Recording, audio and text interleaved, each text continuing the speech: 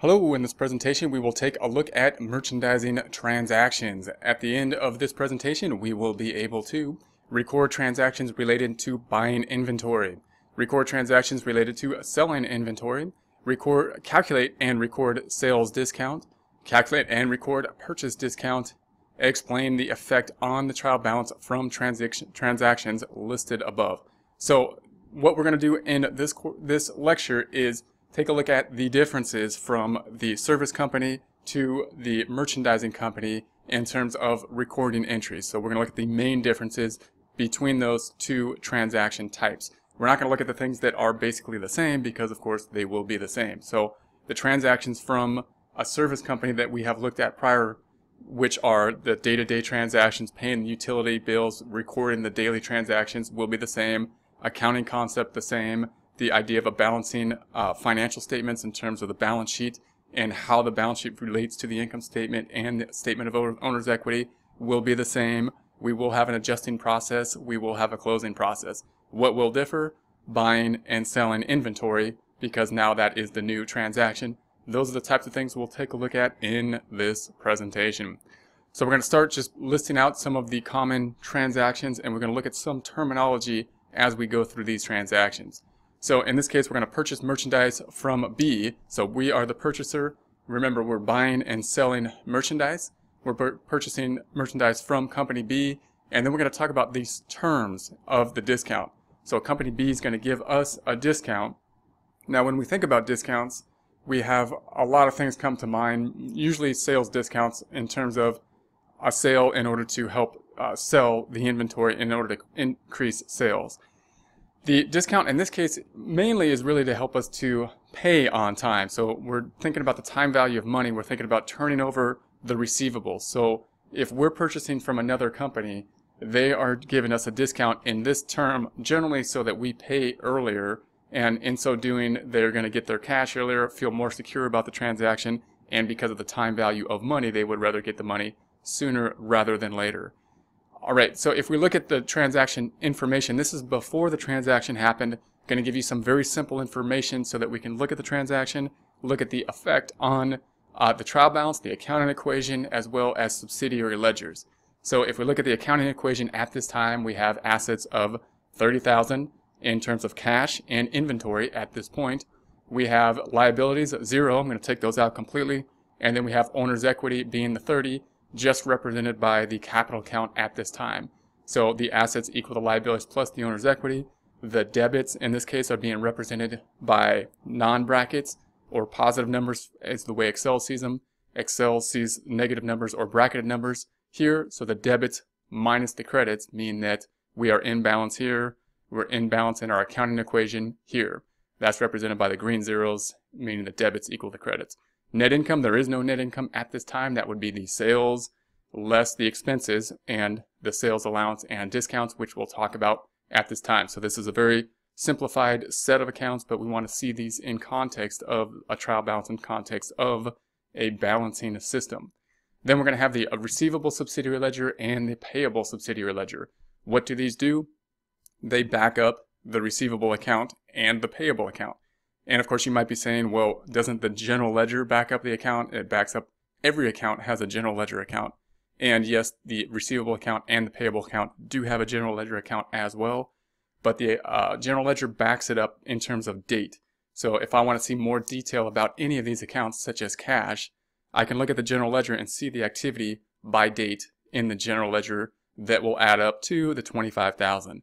We'll also have that type of general ledger for the receivables and the payables. However, we really want to see it by customer and vendor respectively between the receivable and the payable, meaning if someone owes us money, we want to know who, and so that we can collect. If we owe someone else money, we want to know who. Therefore, we're going to break it out by vendor. In this case, we have very generic names, uh, company C, A, B, and L. So in this case, we purchased merchandise and the terms 2 slash 15 and 30. What does that mean? Well, anytime you see a format like this, the number before the slash, the first number is going to be the number of the discount. That's going to be 2 or 2%. So reread that as 2% in terms of this terminology slash 15. 15 means 15 days. So 15, that 15 means 15 days in this format. comma, in basically otherwise if you do not pay within 15 days within the discounted period, then you pay within 30 days. And that's kind of like the normal pay period. So if we're doing a normal transaction with a vendor, it's often expected that the payment will be received within 30 days.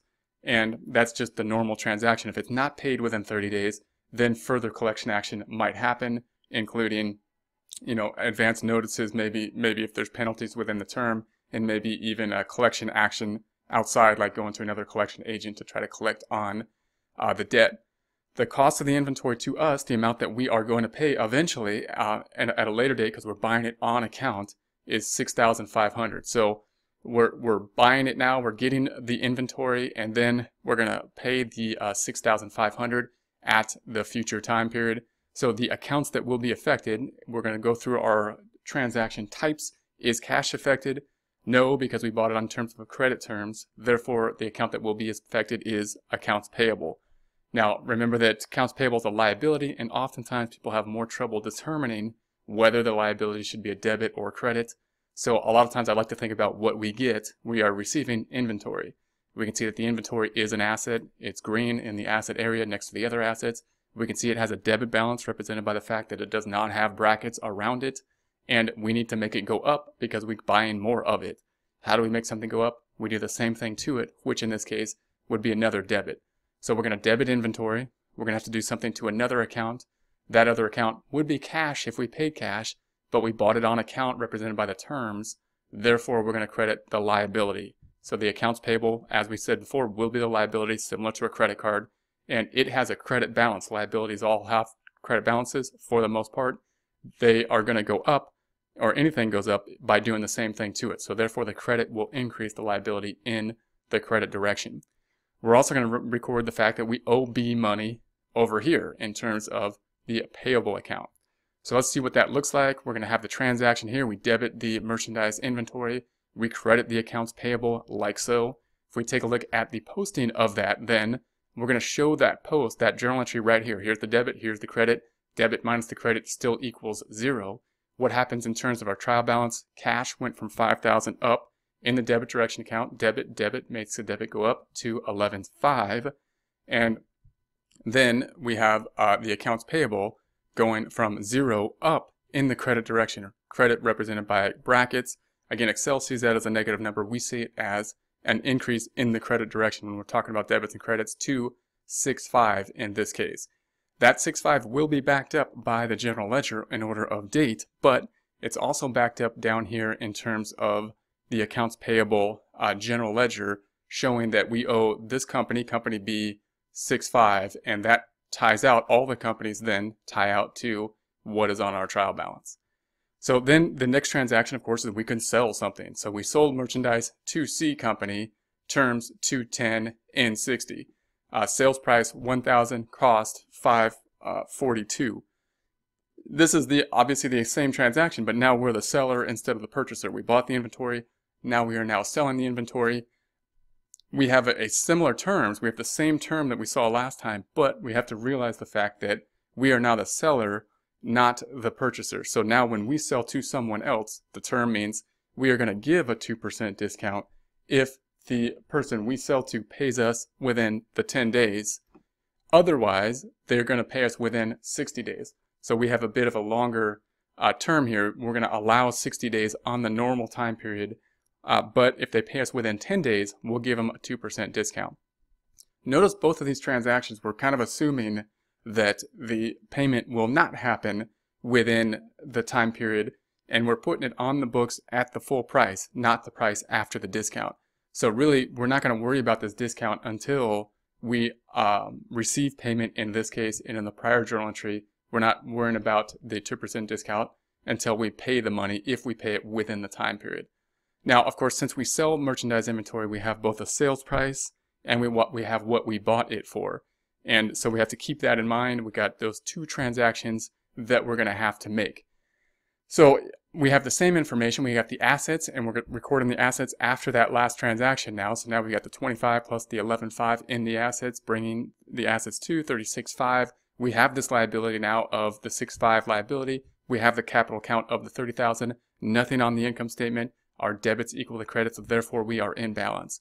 There's two transactions related to us selling inventory. One is very similar to the service company. The first half is very similar to the service company.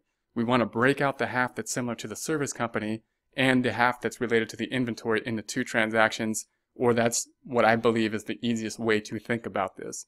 So if we sold something on a service account, as we did prior, and, and we sold it on account, the question is, is cash affected?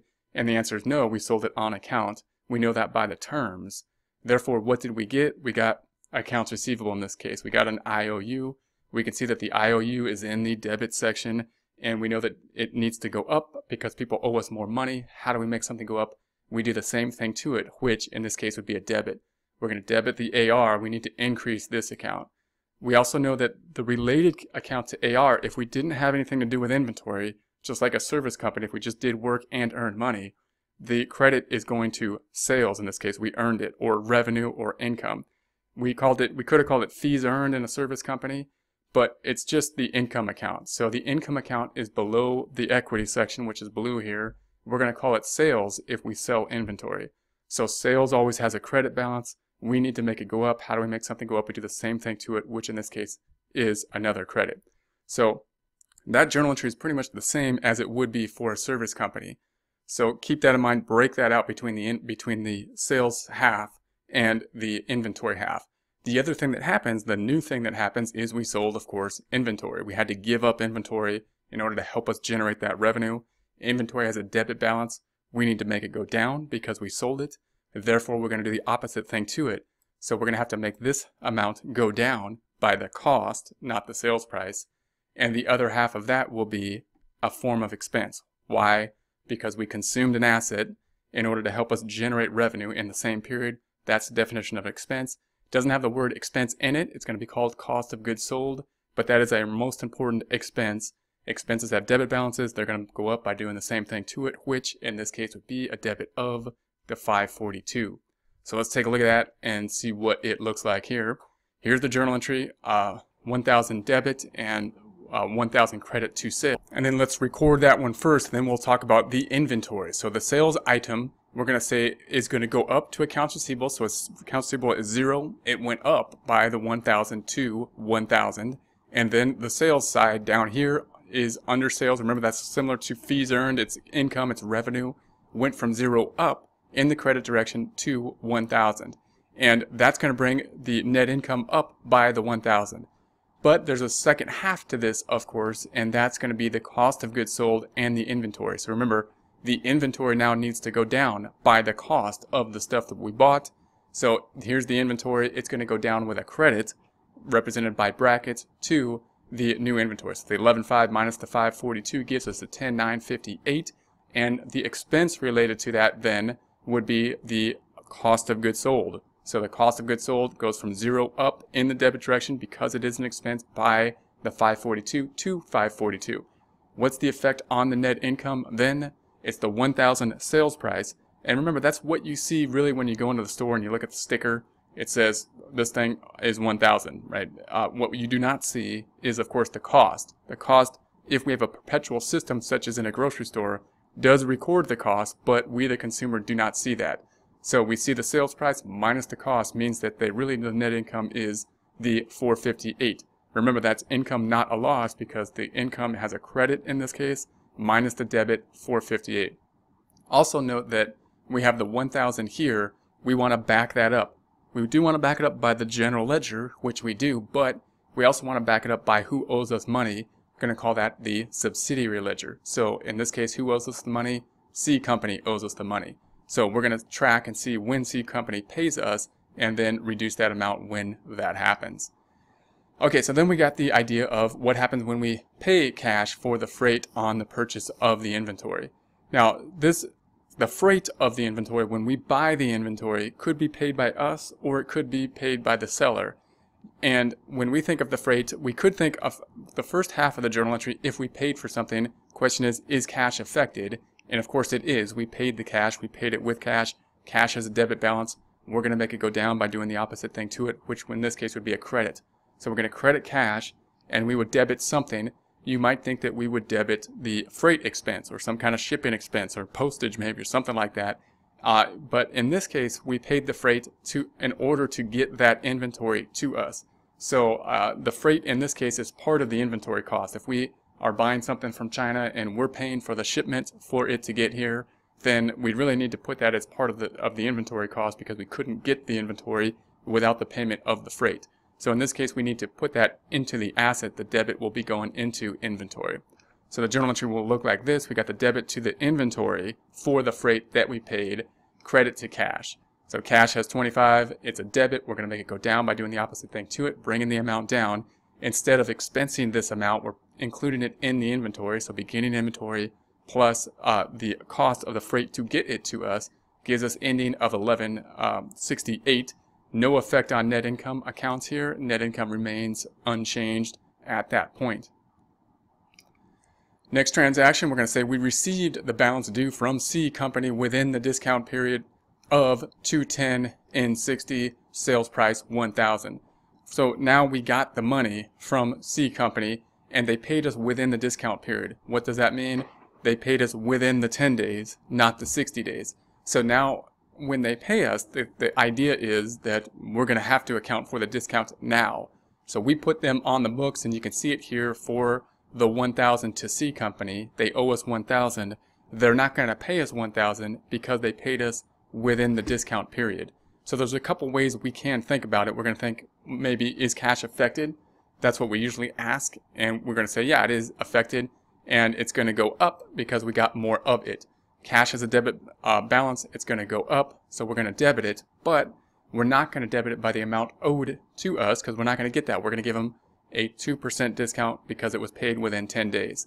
So how do we calculate that? We're going to say, well, we could say 1,000 times 0.02, 2%, would give us a discount of 20 minus 1,000 means we're going to receive uh, 980. But also note that if we say 100% is 1 minus uh, the 2%, 0.02. If we're not getting 2%, how much are we getting? 98%. If you go to a, a, store and you're trying to calculate discounts a little bit quicker, you might want to think of it this way. You can say, well, if there's a 2% sale or discount in this case, the amount that of money will then be 98% times, in this case, the 1,000. And that might be a faster way to kind of get to that number. So we're going to receive 980 from that. So we're going to debit the cash for the 980. We're going to credit something. Normally we would credit, of course, receivable, meaning we need to take the receivable off the books. They owe us a thousand. That needs to go away. Just remember that we're going to credit it for the entire amount, the 1000 not the amount of cash we got, which is only 980 If we credit it for 980 we would be left with $20 showing that they owe us 20 but they don't. They owe, they don't owe us anything. Therefore, we got to credit the full thousand. The difference will be the discount. And in this case, it will be a sales discount. So let's see what that looks like. Here's the transaction. Now, you'll note that I put it a little bit out of order. I could, I should have put the two debits on top in some cases, but I just want to show you that it does work the same way if you do not have the two debits on top. If you want to move the two debits on top, that is okay. If you're thinking through the transaction in terms of the way I would think through the transaction, it is that cash would be affected first, and I would think about what happens to cash as we did, it's going to go up by the 980. So here's cash going up. If we were to post that debit and the debit makes it go up, then I would think about what happens to the receivable. It's going to go down by the thousand. So here's the credit to the thousand makes the cash, the uh, receivables a debit. The opposite makes it go down to zero. We also see that in the subsidiary ledger and that brings the receivable down to match the trial balance. And then the difference I would call the plug. You can calculate it two different ways. You can take the 1000 times 2%. Or you can say, well, uh, 980 plus what will equal the 1000. I need the debits to equal the credits. And that's why I put it in this format. That's the order in which I would build the journal entry to help me post the journal entry. If you want to then move the two debits on top, that's fine. So the, the sales discount will be here. Note that when we think about the sales discount, we might be saying, well, why didn't we reduce sales? And the reason for that is you can see here that the sales is $1,000 because we originally put it on the books at 1000 When we got the money, we only got 980 So we really overstated sales. This sales number is overstated. Why don't we debit the sales, bringing the sales down to the proper amount of 980 Answer being that we don't generally debit sales. We generally only have sales go up. Therefore, we're going to make this account that acts like an expense being sales discount, meaning it has a debit balance. It brings net income down, as you can see here.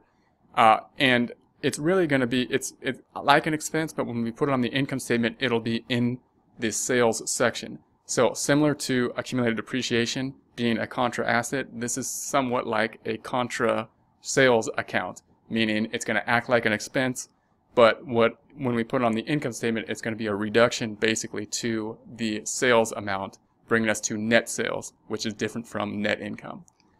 All right, next transaction, we're going to say paid balance due to B company within the discount period of 2 slash 15 in 30. Uh, purchase price was 6005 So now we are the one paying uh, the purchaser and we got the discount and we paid within the discount period, discount period being 15 days, therefore we get a 2% discount. So we're going to get a 2% discount on the 6.5 that we paid.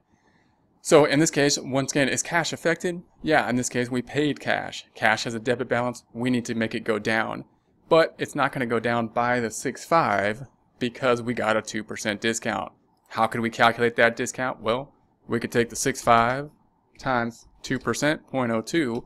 There's the discount minus the original number that we owed, 6.5, means we're going to pay 6370.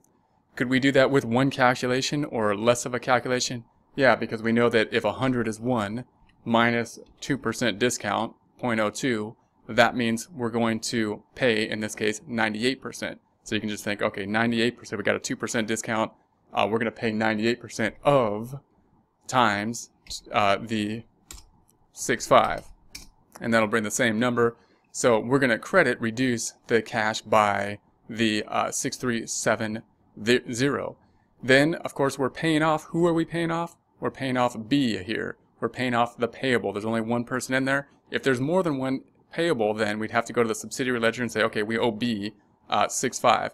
So we're going to have to debit something in order to make this go down. And what are we going to debit? Well, we're not going to debit the amount that we paid. We're going to debit the amount that we owe. Why? Because if we debit the amount we paid, we would still show on our books that we owe them the difference, the discount. And we don't. Therefore, we need to take off the entire 6.5. And the difference, the confusing thing is that we got the discount this time. So oftentimes people are going to say, well, there should be a discount type account here for the discount that we received. But just remember, this is the sales discount that represents discounts that we give to our customers. This does not represent discounts that are given to us by our vendors. So wh where do we put the difference then? It's going to go to inventory. And why will it go to inventory? Because really we overstated inventory. We put inventory on the books at 6.5, but after the discount we didn't pay 6.5. We paid something other than 6.5. We paid something less than 6.5. Therefore, we need to reduce the amount of the inventory on the books to the amount we paid. So let's take a look at that and see what that looks like. Here's what the journal entry is going to look like. And so account, we know that the cash went down. It went down by the amount we paid. We paid 65, 6,500 times 98% because it's 100% minus 2%. So the cash is going to go down to the 19.5. We are going to uh, debit the payable because the payable has a credit balance. We need to make it go down by doing the opposite thing to it, which in this case would be a debit of 6.5, not 6.370 that we paid because we owe 6.5. And if we did not debit the 6.5, we would show that we still owe the discount of 130, which we do not. So we have to take it all the way off the books then the difference could be calculated two ways. Could be the 6.5 times the discount for the 130, or we have a debit of 6.5 minus a credit of 6370. The plug then is 130. That 130 is the discount we received. There is no account for the called discount for the discount we receive because this is a sales discount for the discounts we give. What we need to do is reduce the inventory by the overstatement that we put on the books when we purchased it. We purchased the inventory for 6.5. We only paid 6370. We need to reduce the merchandise by the 130 to uh, 10938. Okay, so we are now able to record transactions related to buying inventory, record transactions related to selling inventory, calculate and record sales discount, calculate and record purchase discount as well as explain the effect on the trial balance from transactions listed above.